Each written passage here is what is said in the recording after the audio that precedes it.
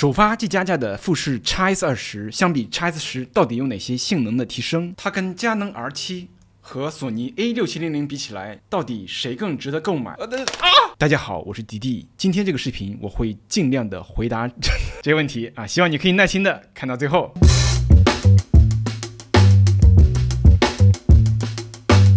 首先，我想解释一下，就是我为什么隔了这么久才做富士 X S 二十的视频啊，有两个原因。第一就是首发的时候我没有抢到，第二原因就是在首发之后，这个相机一直在加价，就加价到我觉得不愿意花这么多钱去买一个在我看来它的性能提升并不是那么明显的相机。但是每天呢都有人催着我去做这个相机的视频，所以我没办法啊，就租了一台。那虽然是租的，我也会认真的去体验这个相机。那最终我会考虑啊，就是要不要啊，再拿出一万块钱买一个这个相机，或者说是这相机真的不值得买。这装在一个小的包里的，可别给我发错了啊，发成富士 X S 十，哼，我就生气了。试的肩带套头，这也是没有变化的一个幺五杠四五，哇，它这个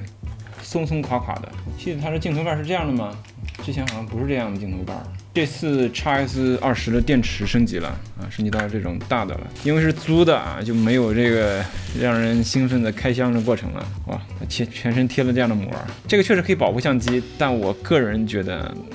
就我个人单纯我个人觉得不好看。这个东西我要拆掉啊，这个这个太烦人了。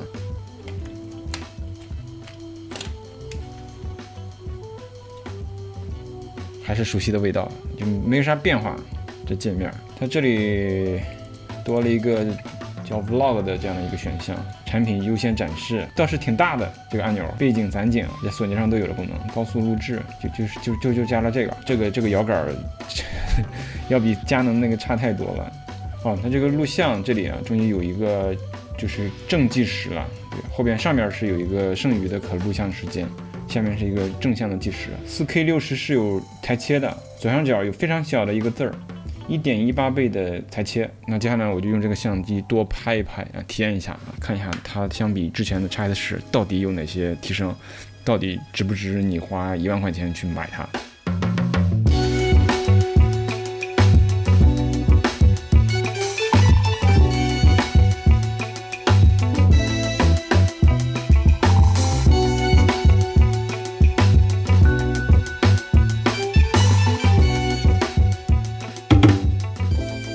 那先是拍照部分啊，就是如果你不放大到百分之百看的话，其实我觉得这三台相机的画质是非常接近的。唯一的区别就是富士的照片在相同的这个曝光参数下会显得更暗一些。我觉得可能是富士的这个 ISO 的标定啊，跟其他相机不太一样。那如果我们把这个照片放大到百分之百去看这个细节的话，还是能看到一些区别，就是能明显感觉到，就是画面最锐利、最清晰的是索尼，其次是佳能，那最后呢是富士。而且我觉得富士的这个暗光下的噪点啊。好像也会稍微的多一些。那视频方面，我们先看 4K60 帧的清晰度，索尼和富士比较接近，索尼会稍微的清晰那么一点，那佳能则看着比另外两台相机更肉一些。那在暗光的环境下，表现最好的依然是索尼，但是索尼的噪点也是最多的。其次是富士，那佳能的画面呢，还是会看的有点肉。那富士 X S 二十最高可以拍到三比二比例的六点二 K 的三十帧。那我也用这个画质跟佳能的 R 七的四 K Fine 做了一个比较。那我的结论是啊，富士会看得更清晰一点点。最后就是一零八零 P 的画质，三台相机我觉得是非常非常接近，是差不多的。啊，非要挑一个的话，我觉得富士的观感会好那么一点。那这里我还想再次强调一下，就是这三台相机的画质表。现都很好，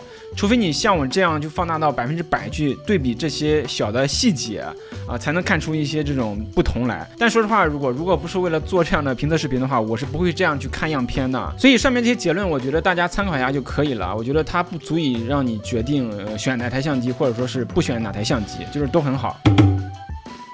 那富士 X S 二十这台相机，我觉得最让我遗憾的一个地方是它的对焦，就是你说它不好吧，确实相比这个 X S 十有非常明显的提升，但你说它好吧，我觉得它是比不上我去年用过的这个 S H 二的。比如在这个视频模式下，它默认用的是一个多重对焦模式，也就是它会识别你画面中的物体进行对焦，但我实际用下来的感觉就是也太容易跑焦了。就是虽然它最终会找到你想要拍摄的这个焦点，但是画面总是会冷不丁给你来抽一下啊，就是让你非常的不爽。那作为一个松下 J 十和佳能 G7X 用户啊，就对这种对焦体验真的是太熟悉了啊，就太经典了。所以后边我没办法，只能把它的这个对焦模式改成了这个区域对焦啊，对焦抽搐的情况就改善了很多。但问题是它的这个对焦区域只有这么一小块儿，如果你想要拍摄的这个主体啊，在这个区域之外的话，你就要去修改它的这个对焦区域的位置啊，每次用的时候还是挺麻烦的。就怎么说呢？就这个自动对焦也不是说不能用，但如果你去跟这个佳能或者是索尼比的话，就总感觉他们不是一个时代的这样的一个相机。那这个相机的一些其他的性能表现也只能说是中规中矩，比如说它的这个机械快门的连拍速度是每秒钟八张。啊，拍摄 4K 六帧的时候呢，大概可以拍二十八分钟左右啊，就会因为过热关机，而且它拍 4K 六帧还会有一点点裁切。那续航方面，因为换了大电池啊，确实要比之前的 x S 十好很多。但如果你去跟这个佳能 R 七和这个索尼 A 六七零零比的话，我觉得呃也就是正常水平。那这个相机虽然支持这个机身防抖，而且官方说这次的防抖效果比之前还增加了一档，但我实际体验下来的感觉就是它的防抖效果，我觉得比这个索尼还是要差一点，完全跟这个佳能没法比。所以总结一下，就是我觉得富士在这个拍摄性能这个部分啊，除了可以拍摄的这个视频规格分辨率啊是最高的，可以拍到六 K 啊，其他的这个表现部分，我觉得都不如这个同价格的这个 R 七和六七零零表现的更好、更均衡。而且我觉得六 K 分辨率在这个阶段其实远不如这个四 K 实用，而且还会对你的这个剪辑的性能有更高的要求。那富士 x S 二十的这个机身外观，高情商的说法是啊，延续了 x S 十经典的设计。呃，低情商的说法是没变化。但因为换上了大电池嘛，我觉得它的这个手柄似乎要比 x S 十大了一些，手感也要好了一些。它的这个快门的体验依然不是很好，就按下去的那个手感是很廉价的，半按和全按的这个边界感是很模糊的，手感明显要差于这个 R 七和六七零零的这个快门。这个相机我最想吐槽的就是它的这个按键非常的小，而且这个键程很短，按下去的这个反馈是很差的，就有种小时候我用的。那个廉价 MP3 的那个感觉，而且我最不喜欢的是它的这个摇杆的这个使用体验。总结两个字就是硌手，就是你按久了之后，真的会感觉到这个手指肚会不舒服，会疼。而且在富士现在这个操作系统里边，这个摇杆的使用场景使用率是非常高的，就会进一步的去加重这个问题的严重性。而且你在拍摄的时候呢，这个摇杆还很容易误触，去移动你的这个对焦的区域。那 x S 二十的这个屏幕这次升级到了这个一百八十万像素啊，是今天这个三个相机里边最高的。如果是跟这个 x S 十比，的话，那个体验确实很大，但如果你去跟 R 七和六七零零比的话，我感觉呃区别不是那么的大啊，都挺好的。那取景器的这个使用体验，我觉得最好的是佳能 R 七啊，尺寸最大，看对焦点也最清晰。x S 二十跟六七零零是差不多的，但因为 x S 二十的这个取景器是在正中间的嘛，所以实际用起来要比这个六七零零更舒服一些。但是这个 x S 二十的这个取景器有一个问题，就是它的这个距离感应太敏感了。呃，当我翻开这个屏幕去使用的时候，如果我的手去点这个屏幕啊，就会导致触发它的这个取景器的感应。它就把这个屏幕给熄灭了，但我其实现在并没有在用它的这个取景器。这个体验真的很不好。那 x S 二十呢是三个相机里边唯一有这个闪光灯的，这个对拍照而言是非常有用的啊，这个确实非常好。存储卡槽方面，R 七是双卡槽，六七零零和 x S 二十是单卡槽啊，这个都还好。但是 x S 二十的这个卡槽呢是跟电池放在一起的，如果你放在三脚架上去拍摄的话，每次取卡的那个体验啊就不如这种侧开的卡槽来得好。而且我觉得 x S 二十的这个电池舱门啊开关也不是那么的方便，有的时候会打不开。所以总结一下，我觉得从这个机身硬件的体验角度讲的话，最良心那是佳能 R 七各方面都是最好的，其次是索尼的 A 六七零零，最差的是富士 x S 二十。就我会觉得 x S 二十的这个机身外观的这个硬件的使用体验啊，是对不起它的这个这么高的定价的。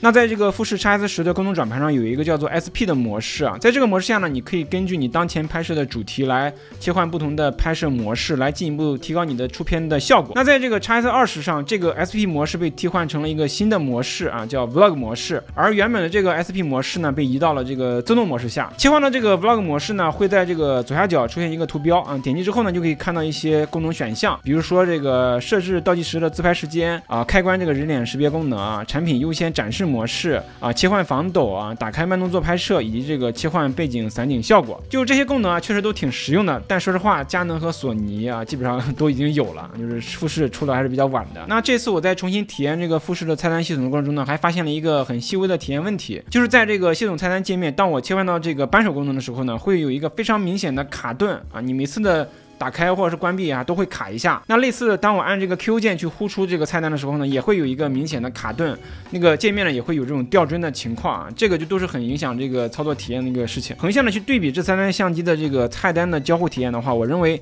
佳能依然是表现最好的。那菜单的切换非常流畅，功能使用上也最简单最直观。那六七零零这次因为换了新的索尼的菜单，体验也好了很多。而富士呢啊依然是表现最差的，它的菜单依然不支持这种全局的触控啊，就是有的地方可以点，有的地方又不能点啊，就是整个的这个操作体验是非常的割裂的。而且我认为新手去上手使用富士的这套菜单的这个学习成本也是明显要高于另外两台相机的。首先，我们说一下富士 X S 二十这台相机相比另外两台相机的优势啊，最大的当然是富士的这个胶片模拟风格啊，啊，确实非常的好看，而且很容易出片儿。就是别的相机品牌中的这个照片风格啊，就只是一种风格，而在富士相机上，它可以是一种情绪，可以是一种氛围啊，可以是一种创作动机，可以是一种腔调，它甚至可以是一种态度，怎么有一种 rap 的感觉？所以，尽管富士存在我前面说的那些问题啊，但。这些胶片模拟风格啊，确实是我选择购买富士相机的一个非常大的一个动力。那其次就是富士的这个外观设计，从我个人的审美的角度看的话，我觉得是三个相机里边最好看的，就是这种很复古的造型，很像以前的这种胶片相机。当然，这个就非常非常个人，非常主观了，因为有的人可能还会觉得佳能的相机最好看的，对吧？那最后就是富士的镜头群也是比较丰富的，它至少比这个佳能 R7 的镜头群要丰富很多。但这些优点，我觉得它并不足以盖过我前面说的那些不足，所以。如果今天要我在这三台相机里面做选择的话，我的观点大概是如下啊。首先，如果你是要正儿八经的去拍一些严肃的作品的话啊，并且非常依赖这种自动对焦的话。那我还是会更推荐你选择佳能和索尼。那如果你主要是拍照片的话，我会推荐你选择佳能 R7。那如果你是拍视频的话，我会倾向你选择索尼的 A 六七零零。那如果你更多的是个人爱好向的创作，或者说是一些这种单纯的生活的记录啊，不想做后期，又非常喜欢富士的这种胶片模拟风格，富士的这种调性，那富士 X S 二十啊，确实是非常棒的一个相机。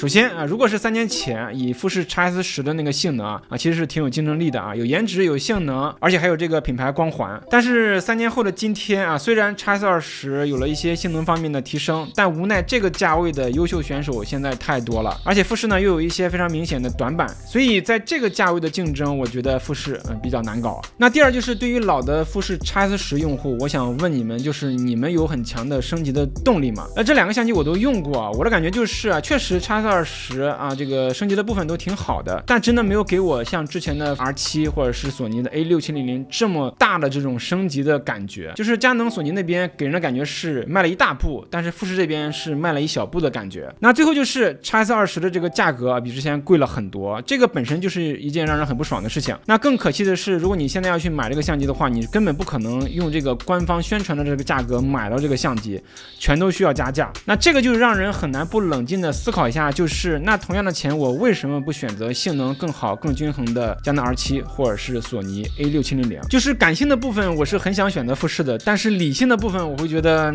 嗯，好像另外两台更好一些。所以综上所述啊，我原本是有非常强烈的想要买这个相机的动机了，但是现在我就有点解读了啊，我打算把这个预算留着啊，用来买后边富士出的其他更偏向拍照的相机，比如说 XE 系列，或者说是富士的 X 一百系列。那拍视频的话，因为我确实现在手上有佳能也有索尼，我可能现阶段不会考虑买一台富士相机用来拍视频了。那最后我还是想真心的说一下，就是我希望富士能够认真的听取一下我们这些普通用户的心声啊，能够好好的把这个对焦做一下，优化一下这个机身的操作体验和交互体验。另外就是能不能控制一下这个夸张的缺货和溢价的问题啊，就真的很讨厌。就怎么说呢？我的第一台相机就是富士，后边也买了很多的富士相机。那这段时间用这个 X S 二十拍照也很开心，而且我也承认我对富士是有这样的美化的滤镜和光环的。但是这种光环它会随着时间，随着我使用各种其他的相机之后，会慢慢的褪去。啊，消费者最终还是会用钱去投票，只有那些真正在乎消费者感受的产品啊，才会赢得最终的市场。所以千言万语汇成一句话，就是让我们期待富士接下来的新相机。那今天的视频就到这里了，感谢你的收看。如果你觉得我的视频还不错的话，请帮我投币、点赞、分享啊，非常感谢你。那你也可以考虑关注我的频道“极地手记”，这里有很多关于相机的教程和购买指南。那我是极地，我们下期再见，拜拜。